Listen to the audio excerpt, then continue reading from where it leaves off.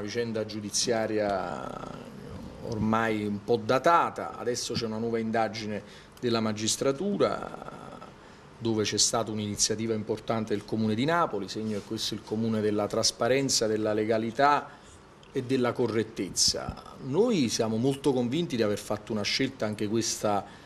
storica e straordinaria per la città di Napoli. Nel passato gli amministratori che ci hanno preceduto si affidarono a un privato, esternalizzarono tutto il patrimonio, tanto è vero che noi abbiamo difficoltà ancora oggi a conoscere con esattezza qual è il patrimonio, perché lo stiamo ricostruendo giorno dopo giorno. C'era un imprenditore che aveva il dominio di tutto il patrimonio e adesso delle indagini stanno facendo venire fuori delle cose che abbiamo anche segnalato noi, quindi una scelta direi molto coraggiosa, quella di internalizzare il patrimonio in un momento di difficoltà, avremmo potuto svendere la città per far cassa e non l'abbiamo fatto, abbiamo risanato i conti senza svendere il patrimonio, adesso dobbiamo far funzionare al meglio